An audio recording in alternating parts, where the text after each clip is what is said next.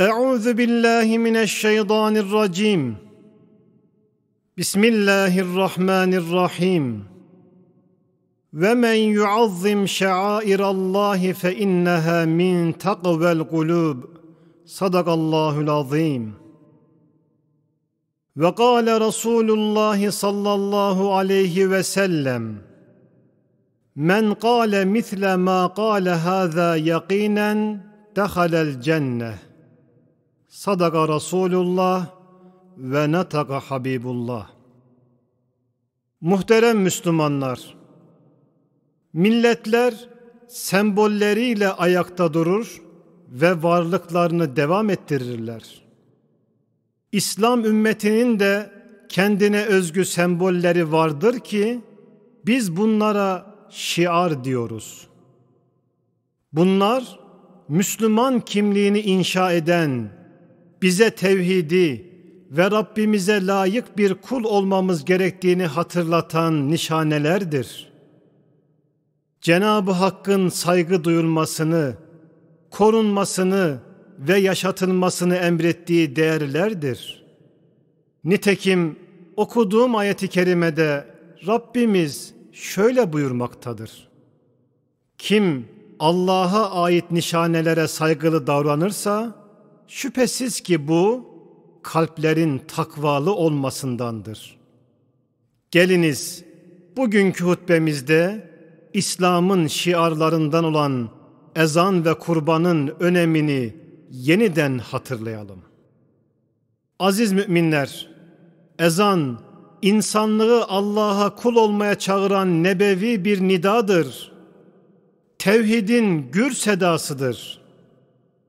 Müezzin Allah'tan başka ilah olmadığını Hazreti Muhammed Mustafa sallallahu aleyhi ve sellemin son peygamber olduğunu günde beş defa insanlara ezanla hatırlatır. Rabbimizin rahmetine ve affına ezanla davet eder. Huzura ve kurtuluşa, güvene ve barışa ezanla çağırır.'' Ezan vahdetin yani ümmetin birliğinin ilanıdır. Özgürlüğümüzün beyanıdır. Bağımsızlığımızın sembolüdür. İstiklal Marşımızda bu husus ne de güzel ifade edilmiştir. Ruhumun senden ilahi şudur ancak emeli. Değmesin mabedimin göğsüne namahremeli. Bu ezanlar ki şehadetleri dinin temeli, ebedi yurdumun üstünde benim inlemeli. Kıymetli Müslümanlar, ezanın aslı Kur'an-ı Kerim gibi Arapçadır. Sözleri Müslümanların ortak dilidir. Ümmeti Muhammed'in evrensel parolası ve ortak değeridir. Onu bugün okunan şekliyle bize bizzat Peygamber Efendimiz sallallahu aleyhi ve sellem öğretmiştir. Dolayısıyla aslı gibi okunmadıkça ezan ibadeti yerine getirilmiş olmaz. Rabbimiz kıyamete kadar minarelerimizden şehadetleri dinin temeli olan ezandan bizleri mahrum bırakmasın. Değerli müminler, kim gönülden inanarak okunan ezanı tekrar ederse cennete girer hadisinde ifade edildiği gibi ezan bize cennet muştusudur. Minarelerden gönüllerimize yansıyan, hayatımızın her alanını kuşatan eşsiz bir değerdir. Dilimiz, rengimiz, mezhep ve meşrebimiz ne olursa olsun, Müslümanlar olarak hepimiz ezanı işitince aynı heyecanı hissederiz. Çocuklarımızın dünyaya gözlerini ilk açtığı anda sağ kulağına ezan, sol kulağına kamet okuruz ve onlara İslami bir kimlik kazandırırız. Aziz Müslümanlar, İslam'ın sembollerinden bir diğeri ise kurbandır. Kurban kurbiyettir. Rabbimize yakınlaşma gayreti takvaya ulaşma arzusu ilahi rahmete nail olma çabasıdır. Kurban teslimiyettir. Allah'a ve onun emirlerine boyun eğmektir. Kurban sadakattir. Cenab-ı Hakk'ın rızasını her şeyden üstün görmektir. Kurban tezekkürdür. Nimetin gerçek sahibini hatırda tutmaktır. Kurban paylaşmaktır. İhtiyaç sahibinin evine, gönlüne, sofrasına sevinç ve muhabbet taşımaktır. Kurban kardeşliktir.